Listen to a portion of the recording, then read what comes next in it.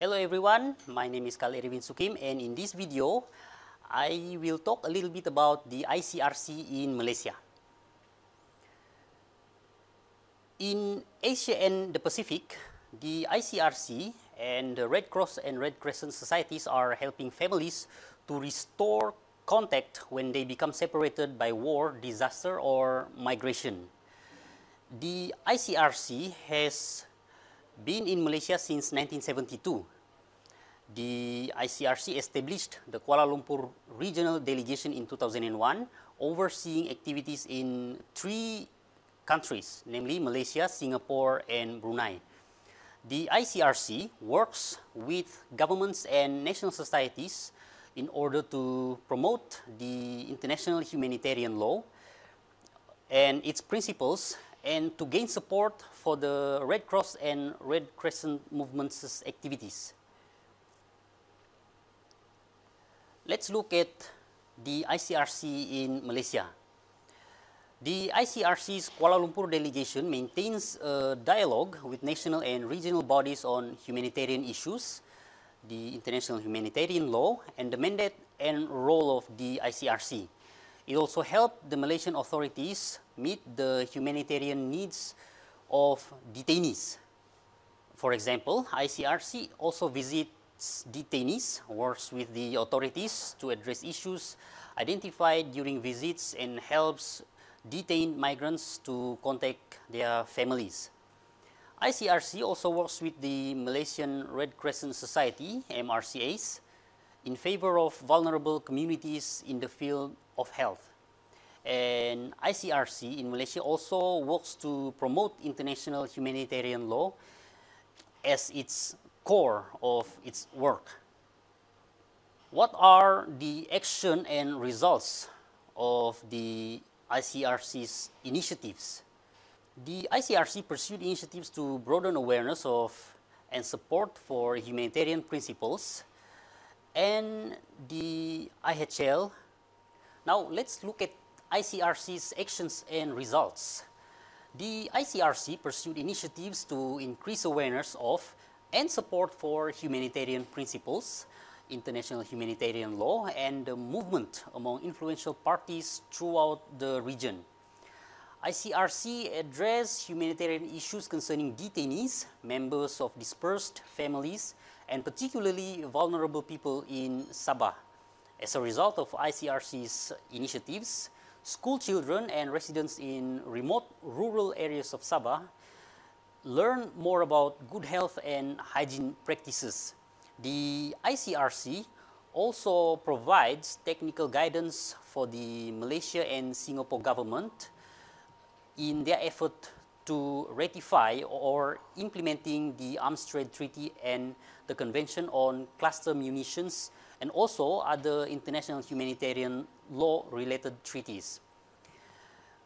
Not only that, as a result of the ICRC's initiatives, university students has also refined their understanding of IHL in lectures and competitions. The ICRC also continues to visit detainees held in prisons and immigration detention centers in Malaysia, including in Sabah. Members of families dispersed by migration or detention restore or maintain contact people throughout Malaysia use the movement's Family Links services to keep in touch with relatives separated from them. ICRC is also working with the Red Cross and Red Crescent movement it maintained a close cooperation with the International Federation of the Red Cross and together with the Sabah branch of the Malaysian Red Crescent Society, the ICRC regularly conduct first aid training sessions. ICRC cooperated with the Malaysian Red Crescent Society, MRCS, the Singapore Red Cross, SRC, and the Brunei Darussalam Red Crescent Society, BDRCS. ICRC co-organized with the SRC and IFRC several workshops for humanitarian professionals from Singapore and throughout the Southeast Asian region. What about the ICRC's activity in Sabah?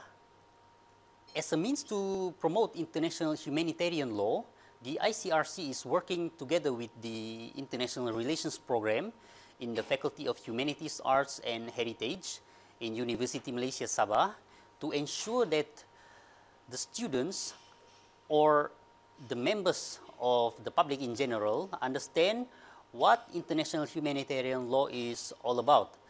UMS is one of several universities to offer international humanitarian law as a subject in its curriculum.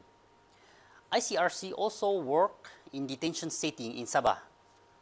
ICRC offices visits people deprived of liberty in prisons and immigration detention centers. ICRC seeks to develop bilateral and confidential dialogue with the authorities. ICRC in Sabah also conducts basic first aid training and health awareness activities. ICRC shares knowledge about basic first aid with communities with limited access to healthcare. These skills help the villages respond effectively to emergencies till necessary medical support arrives. Not only that, the ICRC also provides health and hygiene awareness for school children.